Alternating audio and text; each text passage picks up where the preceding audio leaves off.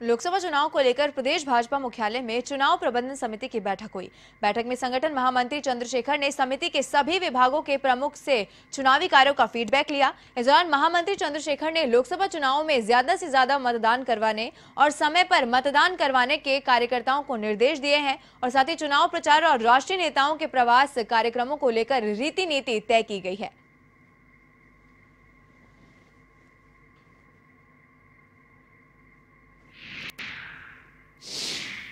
Bharatiya Janata party के चुनाव की जो प्रबंधन समिति है, जो विभिन्न प्रकार के कार्यों का दायित्व का निर्वहन करती है, उनकी आज बैठक थी। इस संगठन महामंत्री चंद्रशेखर जी ने उसमें मार्गदर्शन किया और हमने अब तक के कार्यों की समीक्षा की।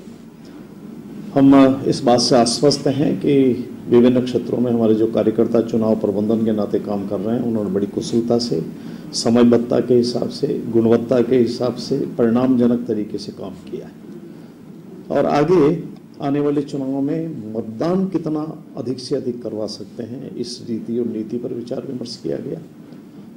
हमारा विचार और नरेंद्र मोदी जी की सरकार की सफलताएँ अधिक से अधिक स्थानों पर पहुँचाने के लिए आ, हमारा एक समयबद्ध रूप से जो कार्यक्रम है आ, उसकी समीक्षा की गई और उसके आगे की